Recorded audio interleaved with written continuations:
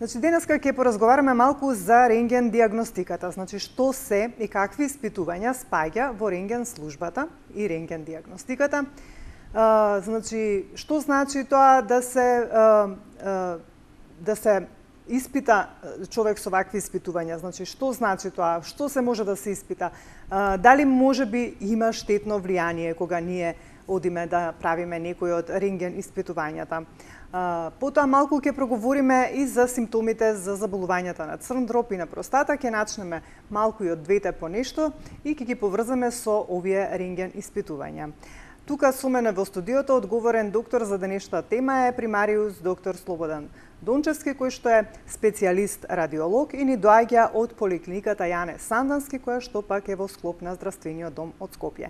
Меѓутоа првин ќе го слушнеме прилогот кој што на некој начин ќе ја најави денешната тема, а потоа ќе се вратиме во студиото да го поздравам денешниот гостин и да започнеме разговор за денес.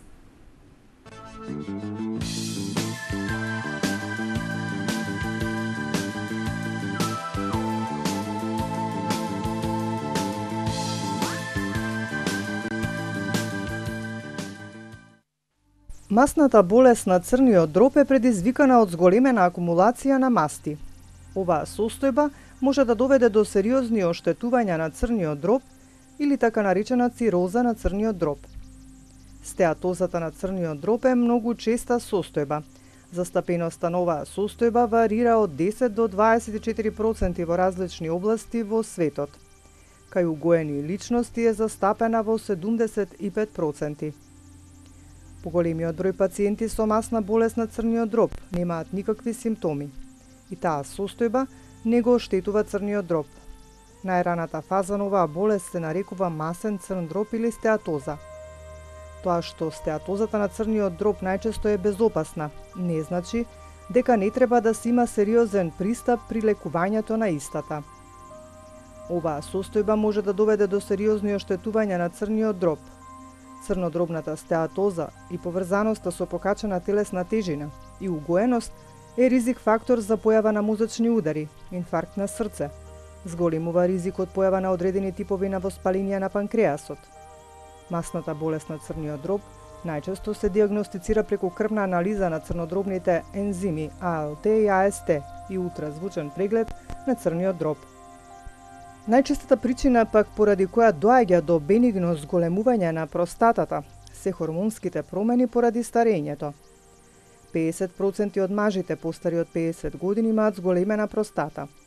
Од тој број, 30% од нив имаат проблеми со мокрење, вели Невен Капун, доктор и специјалист по урологија.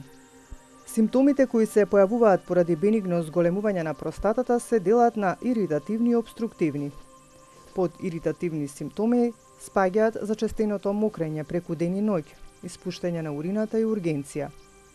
Обструктивните симптоми се слаб млаз, чекање на почеток при мокрењето, прекин на млазот, чувство на непотполно празнење, капење по мокрењето. Првите знаци се јавуваат во раните 40 години. По 60-та година секој втор маж има тегоби кои се предизвикани од оваа состојба. Со старењето, симптомите стануваат се поизразени. Токму иритативните симптоми се главниот виновник поради кои мажите најчесто посетуваат уролог.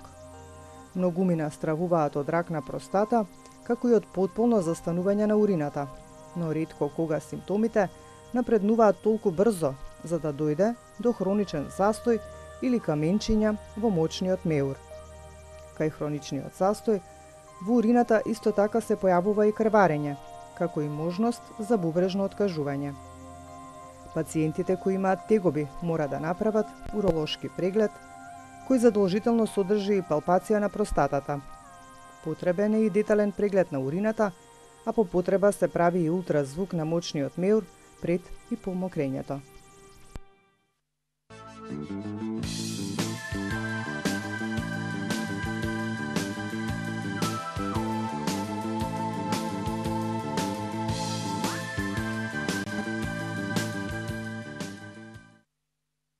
Еве од прилогот можевте да забележите дека ќе се фокусираме на два здравствени проблема, ќе се обидеме накусо да објасниме и за едниот и за другиот, меѓутоа ќе проговориме и за рентген службата и рентген диагностиката.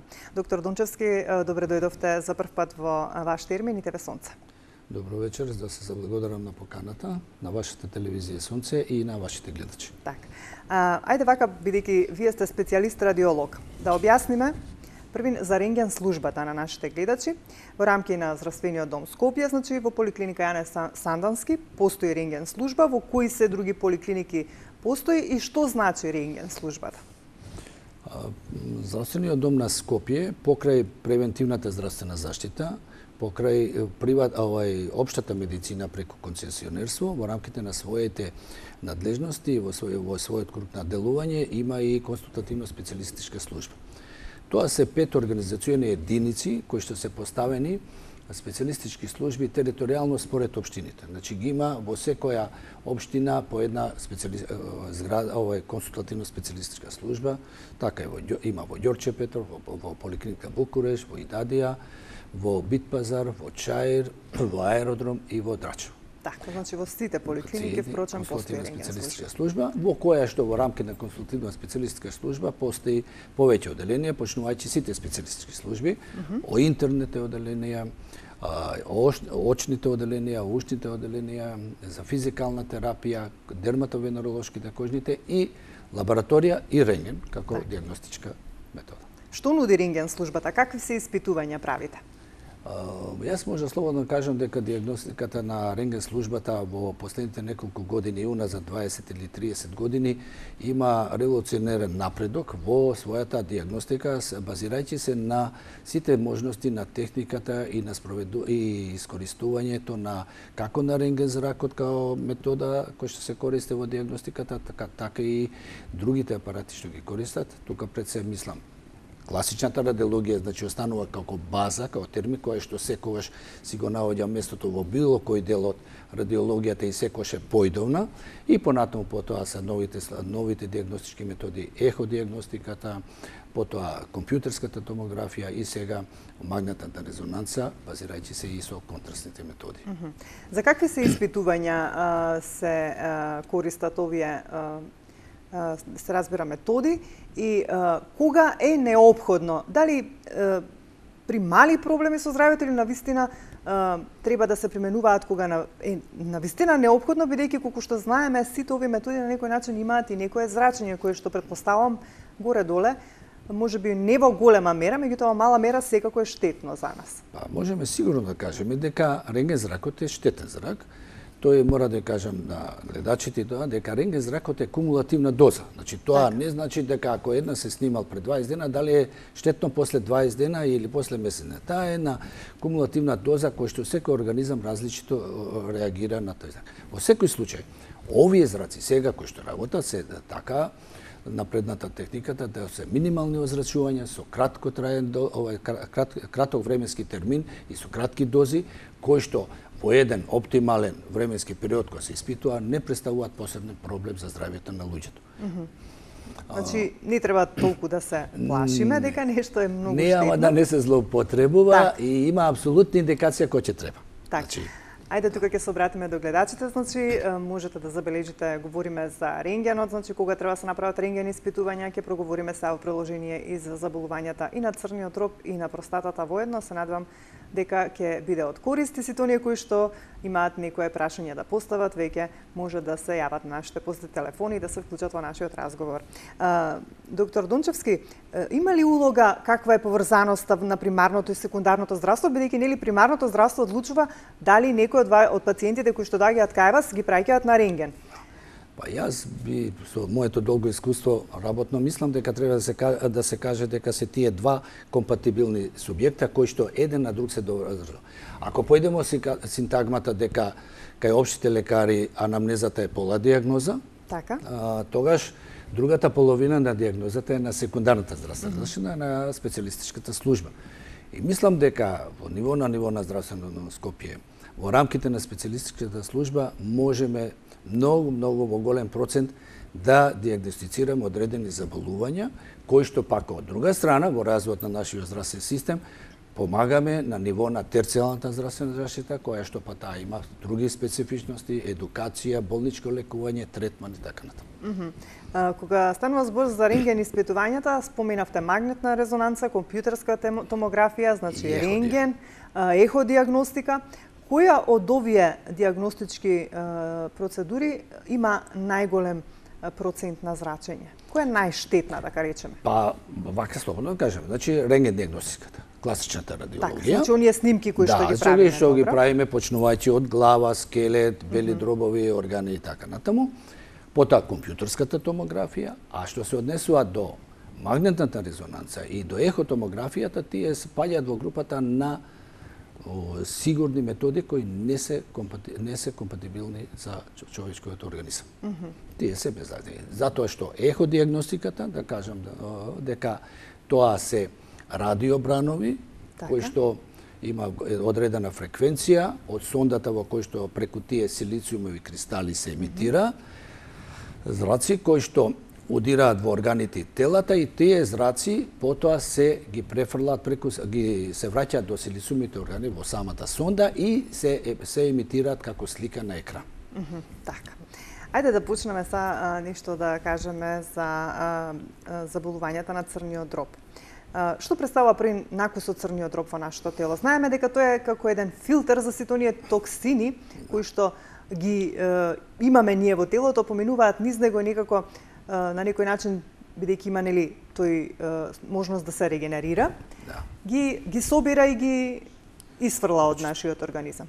Он во главном е главната лабораторија на човечкиот организам. Така кој што освен после тоа има и други своји дејности, стварање на жолчка, прво, потоа стварање на подобрување на одредени крвни елементи, имунотела. Mm -hmm. Така. А, така да во основа се она што е штетно и треба да помине низ циркулацијата на црниот дроб, кај што би требало тоа да се прочисти за да може да организмот понатаму безбедно живее.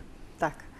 што се случува кога нешто а, би требало да почувствуваме дека а, дека ета нешто не работи како што треба нашиот црн дроб. Кои се тие симптоми основни, првични кои што треба да ни покажат дека се работи за некоја состојба која што не е во ред со нашиот црн дроб? Па јас вака би рекол, бидејќи црниот дроб има карактеристични карактеристични специфични а, промени што ги дава, користејќи ја тука пред се лабораторијата, која што лабораторијата е иницијален фактор кој што ни покажува дека нешто се случува со функцијата на црниот дроб, со помошта сега на еходиагностика доаѓаме, мислам, до, горе долу до две третини, може би повеќе во одредување на одредена диагностика и се разбира после компјутерската томографија и магнетна резонанца со контрастни средства, апсолутно можеме да дојдеме до комплетна во голем процент во 99% до диагноз. Така. А кои се оние симптоми кои што треба да се јават за некој па, обично, Има ли некој поспецифичен? Не, па обични овие се што би сакала да кажам таа промена жолтило, нели, бледило и така натаму се тие се терминални фази од одредена така? болест. Почети се иницијални се промените на лабораторијата. Така. Неговите тегоби по тешкоти со тешкоти во смисол на болки, надувување на стомакот, чувство на гадење, одбивност кон одредена храна, нешто слично како и гастричните со желудокот. Mm -hmm. Меѓутоа тие се више феномени кои што треба организ... овој човекот да пациентот да си побара помош кај матичниот доктор. Матичниот доктор во рамките на своите дејности дава нели одредена лабораторија која што потоа преку консултативна специјалистичка служба интернистичка и ехо диагностиката одиме до приближување на целосната диагноза. Mm -hmm. Е, можам да кажам дека еходиагностиката е метода која што, како што кажа претходно, тоа е безазлена метода, не представува опасност како за пациентот, така и за докторите. А, има некои забелешки, да речеме за докторите кои што долго време работат и континирано, дека може да имаат одредени промени на скелетот на шаките, меѓутоа тоа е во литература се уште. Mm -hmm. а, иначе, со еходиагностика да кажам дека ехо зрахот е апсолутен и доминантен во абдоминалната празнина на парехематози, на тие полни органи.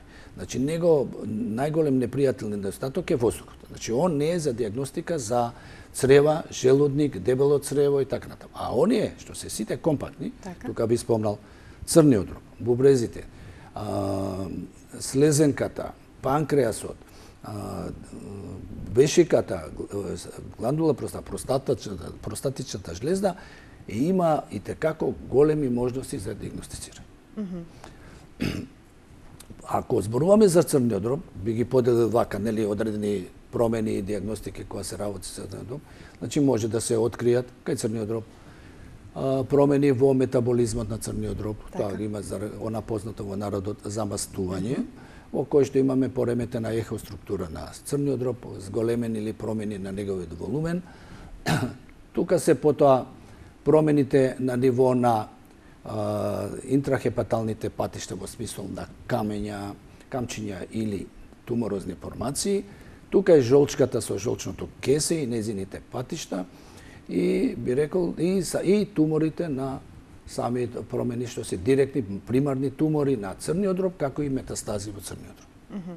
Се тоа може да се диагностицира со една еходиагностика, со еден соодветен стручен потенцијал, тој што го пригледа. Кои се причинителите за проблемите со црниот дроб? Не Кои се причините за, за создавање на проблеми кај црниот дроб? Па, сигурно, сигурно начинот и животот на самата индивидуа, во ова време сега више психофизички стресови и така натаму mm -hmm. се потенцира. Меѓутоа мислам дека а, во основа ние како доктори, значи не препорачуваме ова или она храна. Значи не може да биде еднолична храна, секако да биде било која храна, само ја што имам обичај да кажам во умерени количини, да не се претерува со ништо, се може да се јаде и на 30 години, на 60 години, само во одредени правилни интервали, обавезно со доручек и ручек, навечер јас исто така препорачувам после 20 часот, 21 часот да се избегнува обилни оброци бидејќи тоа представува екстремно као бомба да се стави во организмот за да тоа храна може во ноќните часови да се свари. Бидејќи знаеме дека да, потешко метаболизмот е постар да, навечер и да. потешко да. се преработува тешката храна. Доктор Дончевски, кога станува збор за овие проблеми, кои од проблемите на црниот дроб можат да се санираат и да се излекуваат, а кои веќе не можат? Па, видите, сите воспалителни промени така? на црниот дроб се рачуна тука сметајќи го и хепатитот и тој и така на од би било која форма а, може да се лекува. Потоа може сите кај евентуални промени во смисол на бенегни цисти кои што представуваат со својата големина проблем во функционирањето.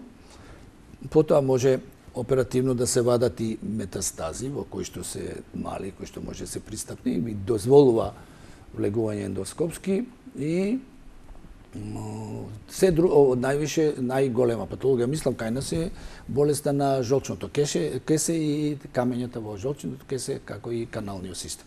Mm -hmm, така.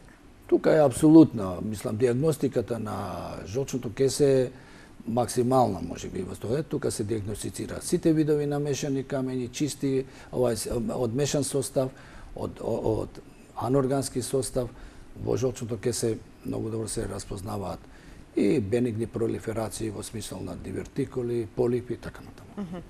Од вашата практика до сега каква е состојбата во однос на заболувањата на црниот дроб? Има ли има ли кај нас доста луѓе кои што имаат вакви проблеми или е ова малку по-малку застапен проблем со здравјето?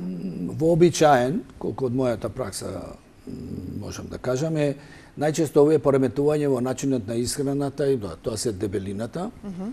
користењето на еномни количини на алкохол.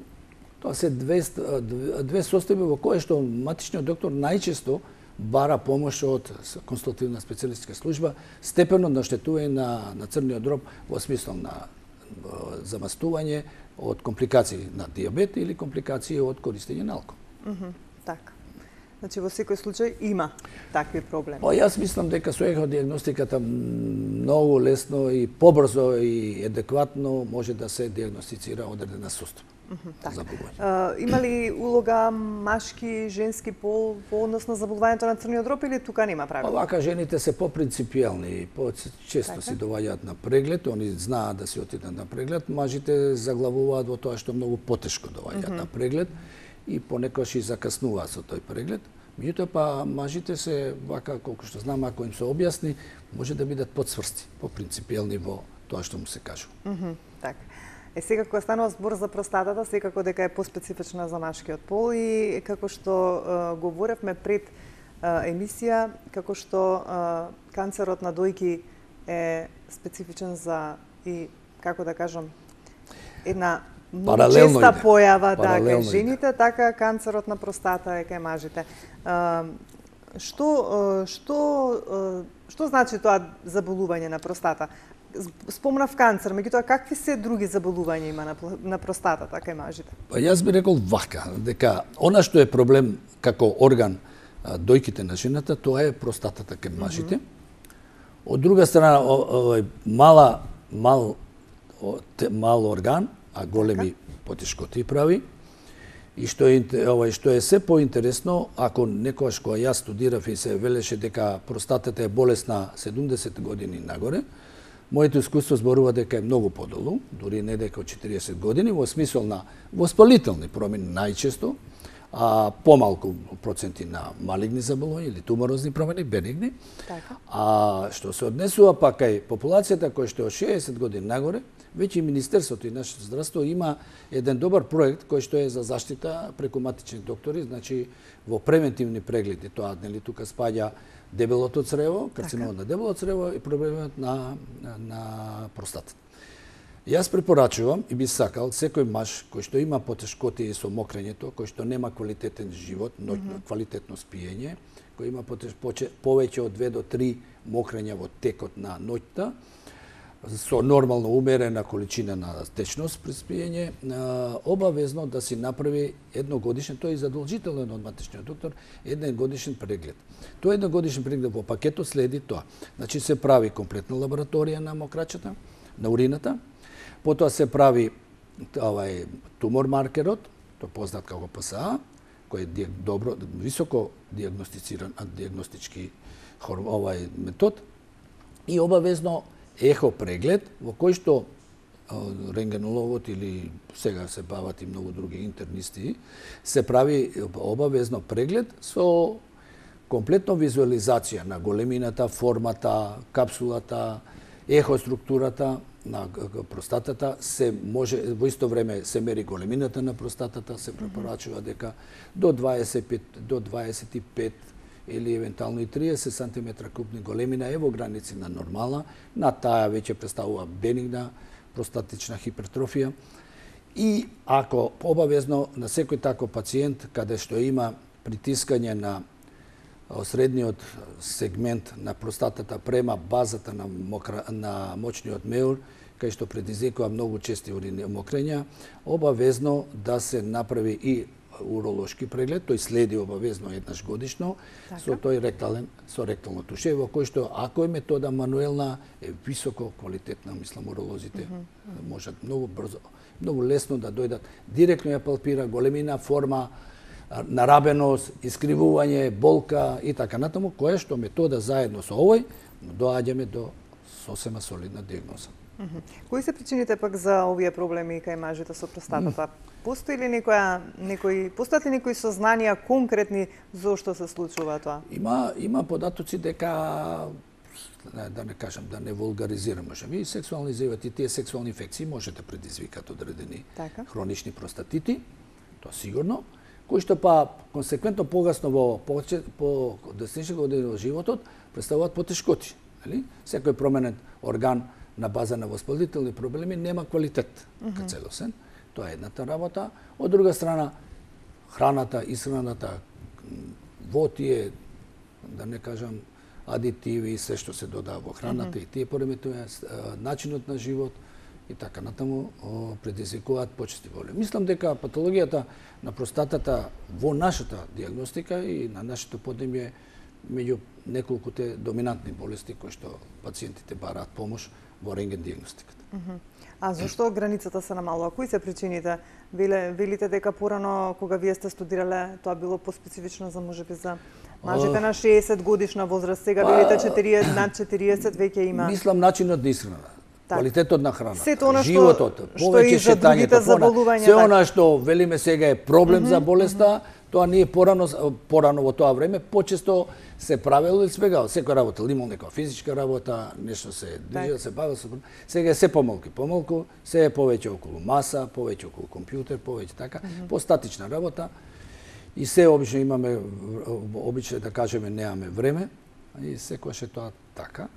Меѓутоа, апсолутно, мажите, јас имам податок во некои литератури што сме читале и што сме гледале, дека правена нека а, обдукција на, ката, на умрени пациенти така. над 85 години и податоците зборува дека иако немале манифестна болест на малигном, во високи дози, не дека околу 60 до 70% наоѓале малигни клетки, ако немале болест.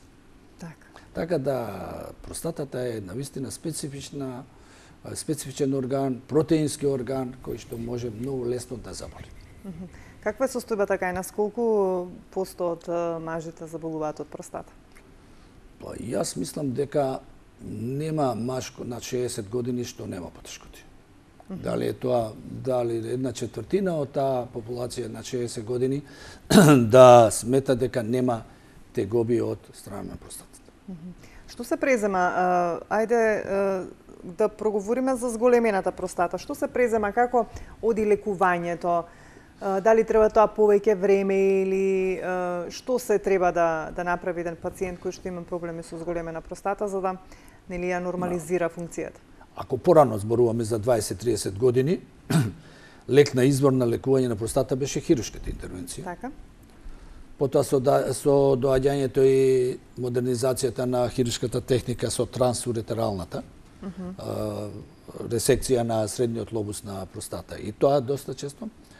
А сега бидејќи има и една појава на многу група на лекови, на блокатори, на рецептори така. на простатата, кои што се даваат и може да го направат животот сосема пристоен, меѓутоа овие параметри што ги кажав, долгогодишно и тешкоти при мокрењето, смалување на млазот, по често пати станување во вода, тоа апсолутно бара контрола и преглед на уролог, а тој уролог на база на својот преглед ќе даде дефинитивно мислење дали може да се продолжи уште некое време со консервативен третман или е време да почне за да не настанат други промени на органите, тоа во смисол на оштетување на проксималните делови на уретрите, на бубрегот и да направи една инфекција и оштетување на бубрезите, па кој е тоа врзано коло кој што оди дефинитивно што оштетување на на организмот mm -hmm.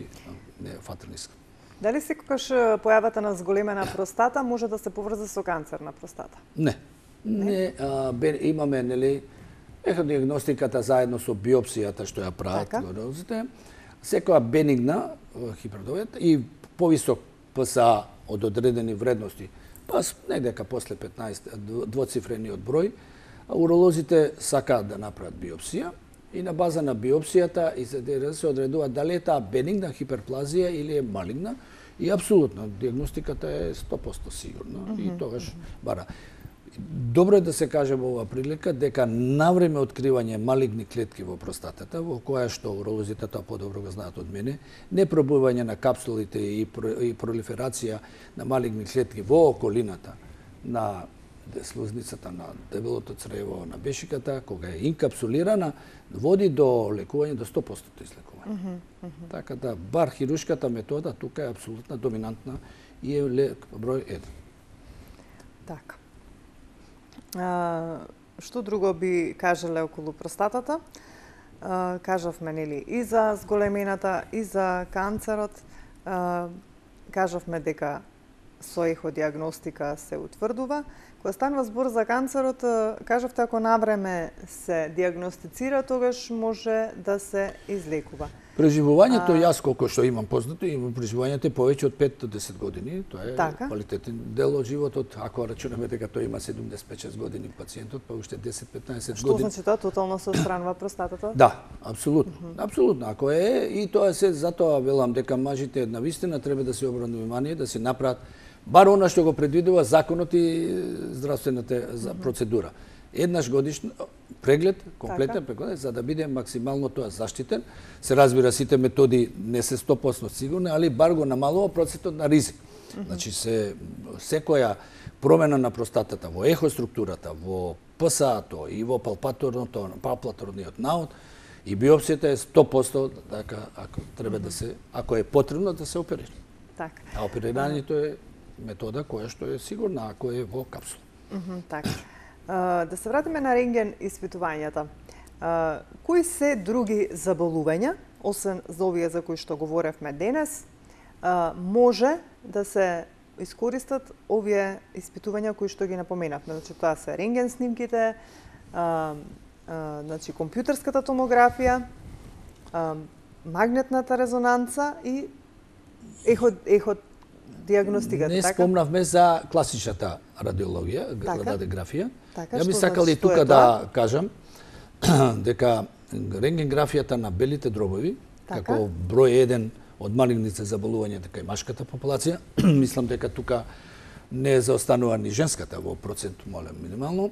Значи, апсолутна индикација рентген снимање кај пациенти кои што имаат пролонгирана недиагностицирана кашлица, која што, да речеме, лабораторискиот наод е во граници на нормала, а он има упорна кашлица. И тогаш матичниот доктор требе да помисли да види да, да направи една рентгенграфија. Така. Бидејќи и тоа, сите тумори, нели, имаат, они имаат голем процент на малигнитет, ама има и една, имаат и они и слабости. Ако рано се открива, може брзо да се оперира и да се излекува. Значи, јас би рекол дека, по мојот искус зборува, значи, да речеме, дошол од икс причини, воспаленија, вирози, настинки и така натаму, го лекува со една, процедура со антибиотици, го лекува со средства за смирување на кашлот, Така. поминува вирусниот период, поминува бактеријалниот период на инфекција. Така. И повторно на Меѓутоа, има едни асимптоматски каш- кашлања, исклучил евентуално горни респираторни патишта, мислам синуси, параназални синуси, као фокуси, апсолутно да се направи е, рентгенграфија. Верувајте дека често пати од безазлени се случува да наоѓаме неопромени кои што се големи на повеќе од 2 см во пречник, поголеми од 5 см во пречник. Што значи тоа? Тоа значи, јас го знаат тоа моите, моите колеги дека во пречник над 5 сантима тоа е апсолутна диагностика за малигнен процес. Велите дека сенки- може да тие има сенки се веќе некои во напредната фаза, не да, во напредната фаза кој што може би има можности исто така во колегите од торакална хирургија мислам дека имаат извонредни резултати бар во визави моите пациенти што се испратил.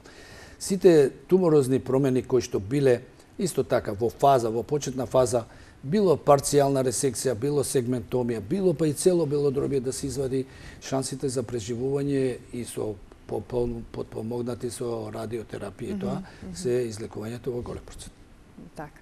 Значи да И потенцираме радиографијата кашлица, класична има големи заслуги во многу диагностики. Значи кашлица која што а, е иницирана од нешто или како да објасниме еве, за натамно, кашлицата? значи прележал, болест, нели така, професионално. Ако бил да? болен, после Да, после тоа ако нешто се ама не уште може да случува? 6 месеци.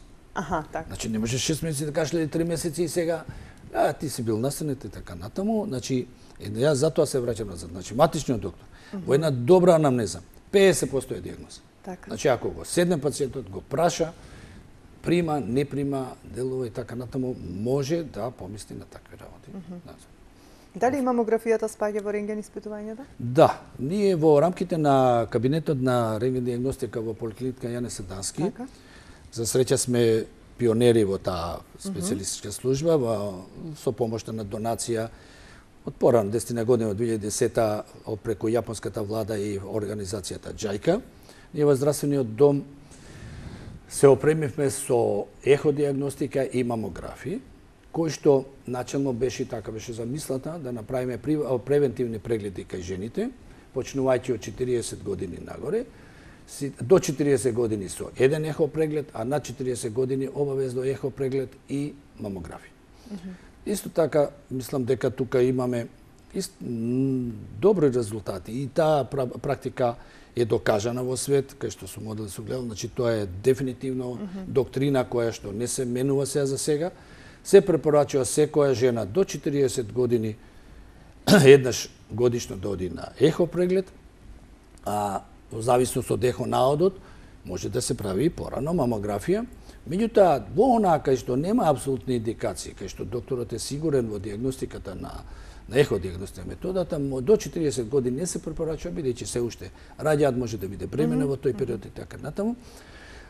После 40 година почнуваме да правиме прва и така ја пишуваме во извештај Така. прва контролна мамографија, која што па таа ни е репер дали на две години како рутина ќе ја правиме или па ќе ја правиме почесто во зависност од промените кај дојката. А, негде се информирав дека и мамографијата е на некој начин колку е корисна нели да се диагностицираат да, да. болестите на дојката, пак и е штетна со тоа што ги притиска дојките. Точно ли е тоа или е само Не, не, не, тоа апсолутно е точно. Јас кога бев во Јапонија на едукација, таму они имаат обавезно кревет. Така. Одма до нив и јас се почнав викам зошто кревет. Они велат, а, значи пациентот на запад, во западните земји е бенефициран, не сме да доживее болка. И често пати при притисок може да се случи болка која што ќе предизвика колапс на пациентката mm -hmm. и они затоа велат, нели, при колапс треба да се легне. Така. Јас и тоа го препорачувам, мој ми се насмејава, мислам дека таа е потребна. И може да се случи, меѓутоа тие апарати што може некогаш со таа динамика на притискање mm -hmm. да предизвика, не се се далеко. Не, сега се апаратите сосема така дигитализирани да он на самат сам ја одбира длабината и притисокот што ќе го одмере во зависност од отпорот што го чувствува. А штетна ли е мамографијата? Има ли зрачење? А, мамографијата исто јас спаѓам во групата на тие луѓе кои што нема шаблон. Значи не може да одиме на 6 месеци ехо на година да мамографија. Значи, мора да се пази да се интегритетот на жената, дојките сите како чувствителни органи и во принцип, значи од она еднаш годишно и еднаш годишно ехо на две години мамографија со индикација дека нема потешкоти, се другото е штетно. Има, не знам сега, не можам да карикирам, али одреден број на почести мамографии предизвикаат и малигни. Може да се биде како причина за појава на малигни заболувања кај дојката. Значи во секој случај да, треба да, да, се внимава. Не, ренген зракот е во секој случај штетен mm -hmm. ако не знаеш за го. Не е тоа видео игра. Е сега ме интересира бидејќи кога се оди, кога се прави некој од овие испитувања, препорачуваат многу да се консумира млеко. Што значи тоа? Помага ли тоа или тоа е само Знаете што? Млекото го рачунаат... Што им препорачувате вие? Не, не, млекото го рачунаат како некој а, детоксикационо средство така? кое што ќе го елиминира одредени штетира. Ренген зракот со ништо не се изфрла. Не може да се значи, Тоа е влезена доза во организмот. За, организмот има така. способност така. да репродуцира, да регенерира, да претрпи еден шок на база на ренген зракот. Меѓутоа ви кажувам, не се више тие ренген цевки со обични ренген лампи кои што не биле заштитени, тие се високо софтицирани апарати, дозата е минимална, ако знае и ако правилно се употребува дека така. помалку. Сега вака да заокружиме бидејќи како што кажавме горе доле говорејќи нели сепак е има некоја некое зрачење и да. тоа на некој начин би влијаела малку и штетно Класичната на графија и компјутерската да. томографија, бидејќи е компјутерот рентген зрак, си има своја штетност. Вака сега, значи кога во кои случаи ние треба да одлучиме да се а, како да се изложиме на едно вакво испитување. Значи, кои се тие итни случаи и морални кои што а, треба да да па, да се вклучат во кажав, има ова има методи, односно други диагностички методи во кои што а, нели матичниот доктор го води да размислува во правец дека Аха, треба да се ако, ако даде сомнение во однос на крвната па, прво лабораторијата, општиот така. изглед на пациентот не се чувствува добро, ако дава терапија, да дава терапија, не иде на добро А, има затоа се почнува за тоа. Меѓутоа не да се прескочува не тие ништо и тоа. Тоа е многу. Mm -hmm. Знаете која е најтешка диагноза во рентген диагностиката? Уреден наот. Значи тоа е да, да да му напишеш уреден наот на некој А веќе да си го зрачал. А, не, не, а да си го, не, не, да го, не го, ако си ја промашил диагнозата, ти му велиш уреден наот, а, так. и така да, за мене најтешка диагноза во рентген диагностиката е да му напишеш уреден наот. Така, во секој случај да потенцираме, значи не за се нешто да се оди на рентген да. е, испитувањата, меѓутоа на вистина кога е тоа необходно и кога на вистина е потребно за да се утврди е, некој проблем кој што на вистина представува е, како да кажам во секојдневниот живот е, со некои симптоми му невозможува да е работоспособен и така натаму и така натаму. Значи на вистина кога е само необходно. Има да одредени органи така. и болест, нели, за одредени органи кои што, кои што трпат не викам лекарска грешка, него потреба за да снима. Mm -hmm. Ама има некои органи кај што не би требало така често да се снима.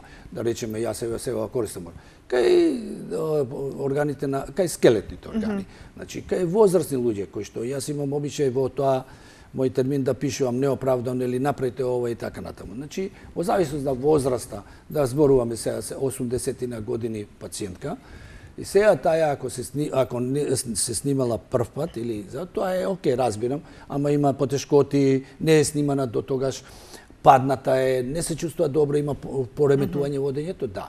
Али ако се снимала пред година дена, и сега повторно да сега, се сложува. после ништо, ај да видам што е, Значи не може што е, не добиваме ништо бидејќи за тоа кратко време не може. Затоа во тој смисол има одредени размислувања и индивидуални сваќања на Така, во секој случај треба да се внимава на одлуките кога се користат овие испитувања, бидејќи објаснивте што и се како. Ви благодарам за денес, доктор Дончевски. Се надевам дека во некоја следна прилика пак ќе се задржиме на некое конкретно заболување кое што убаво ќе го објасниме и ќе ги информираме нашите гледачи.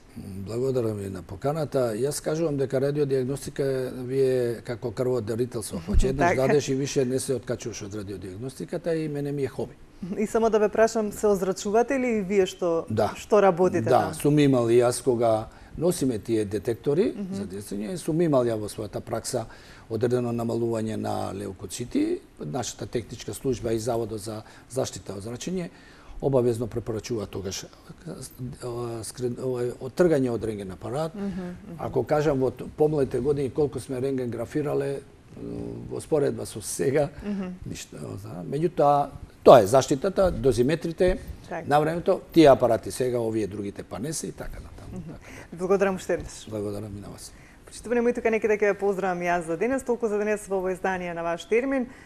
Се гледаме ние повторно за 7 дена во исто време. Уште од сега ви најаваме на интересна тема. Ќе зборуваме за опаѓање на косата, се разбира и кај посилниот и кај понежниот пол.